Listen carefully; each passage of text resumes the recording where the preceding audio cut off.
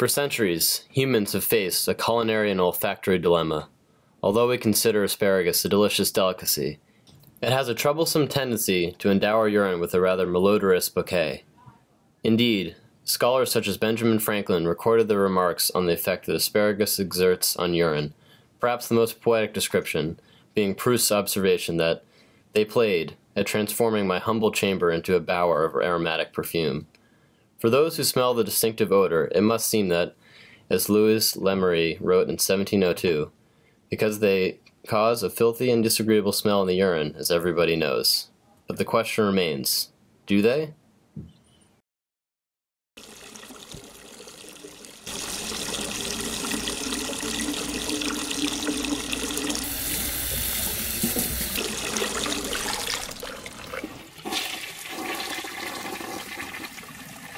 Do you smell that? Smell what? Oh, it's so putrid. Oh, it's awful. Despite the words of Lemery, a question persists. Can everyone smell asparagus pee? If not, why?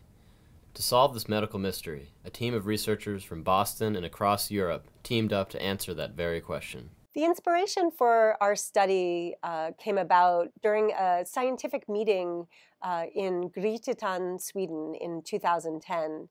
Uh, we were with colleagues uh, from Sweden, Ireland, Iceland, and uh, the US, and we were sitting down for a dinner of the new spring asparagus, and we were very excited to have dinner together.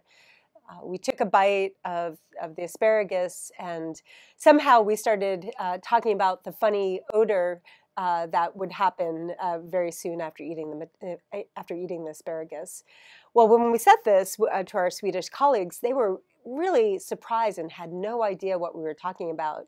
And in fact, our colleagues from Iceland and from Ireland also had no idea what we were talking about. So this really created some interest in us to try to understand uh, the scientific basis for why some of us could smell and others couldn't the strong odor that takes place after you eat asparagus. So, foundational research in this area has demonstrated that the prevalence of the inability to smell the odor produced in urine after eating asparagus, or asparagus anosmia, differs within individuals and across populations.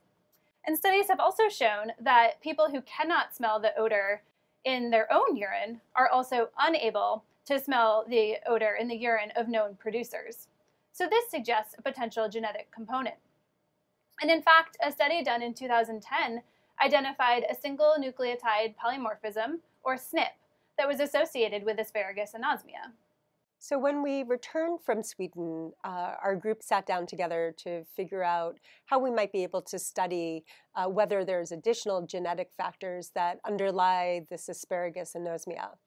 At the Harvard uh, Chan School of Public Health, uh, we work with two uh, large cohorts of men and women uh, the uh, health professionals follow up study and the nurses' health study. So within these two cohorts, uh, there was av- available genetic data. So we were excited to find out that we could add a supplemental question um, and ask individuals in these two cohort studies about whether they can smell asparagus. Well, this asparagus looks pretty good. Uh, do you mind if I try one as I pass it around? Yeah, sure. Okay, well, help yourself.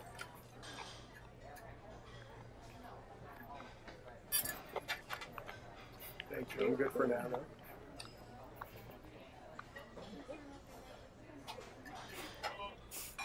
Hey. Looks great. It's too bad asparagus has that unfortunate smell. Wait, what do you mean? I don't know what you're talking about. No, me either. Oh, I, I mean, don't you smell that, you know, when you go to the bathroom after? So in in 2010, uh, we sent a supplemental questionnaire uh, to the men and women uh, in these cohort studies and asked them whether they agree or disagree with the following statement. After eating asparagus, you notice a strong characteristic odor in your urine. For their primary analysis, we considered participants who responded that they strongly agreed with the statement as being able to smell the metabolites of asparagus in their urine, and everybody else as being an asparagus anosmic. We had questionnaire data and genome wide association study data available for 6,909 men and women in these cohort studies. And then we teamed up with Peter Kraft, who's a professor of epidemiology at the Harvard Chan School, and whose research concentrates on the design and analysis of genetic association studies to employ a GWAS analysis to elucidate the genetic underpinnings of asparagus anosmia. So for our analyses, we conducted logistic regression models using the individual SNPs as the exposure and asparagus anosmia as the outcome. We calculated per allele, meaning that each person could have as few as zero copies of the allele and as many as two copies of the allele, estimates, and considered p-values less than 5 times 10 to the minus 8 as genome-wide significant. To further explore the complex nature of genetic variation in asparagus anosmia, we conducted conditional analyses, which allow us to, allows us to include all of the SNPs in a model and take into account the correlation between SNPs. Finally, we used a tool called Polyphen to predict the likelihood that some of the SNPs we found would be probably damaging, meaning there was a high confidence that the SNPs alter protein function or structure, probably damaging, or benign, meaning it most likely lacks any phenotypic effect. What is a GWAS? That's a great question. So a GWAS is a genome-wide association study. It's a, te a, technique that allows researchers to scan the genome to identify genetic differences among individuals that are uh, correlated with differences in traits, like height, or risk of cancer, or the ability to smell asparagus. So in this particular case, we collected blood samples from nurses and health professionals, extracted the DNA from the blood samples, and then measured those DNA samples for 10 million variants about, uh, across the genome, and then just simply asked, are those variants correlated with the ability to smell asparagus, yes or no? With respect to our results, we found that overall, 60% of participants, including 58% of men and 62% of women, were anosmic. We found 871 SNPs reached genome-wide significance for asparagus anosmia. What we see here is a figure called the Manhattan plot, and on the y-axis displays the p-values, and across the x-axis are the individual chromosomes. Each dot is a SNP, laid out across the chromosomes from left to right. The height of the peaks corresponds to the strength of the association with asparagus anosmia. So here we can see that the most statistically significant SNPs, with several with p-values less than 10 to the minus 40 or smaller, are in a similar region on chromosome 1, which contains genes in the olfactory receptor family. Using conditional analyses, we found three independent SNPs located in olfactory receptor genes that remain statistically significantly associated with asparagus anosmia. And finally, we found SNPs located in genes in the olfactory receptor family that were probably or potentially damaging based on high polyphen scores. In summary, 60% of our participants were unable to smell the strong odor produced in urine after eating asparagus. Genetic variation near multiple genes in the olfactory receptor 2 family were associated with the ability to smell the strong and characteristic odor in urine.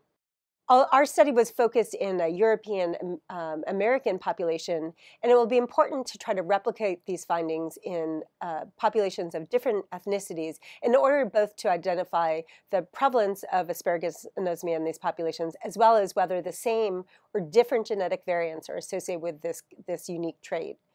There's several outstanding questions that remain on our research.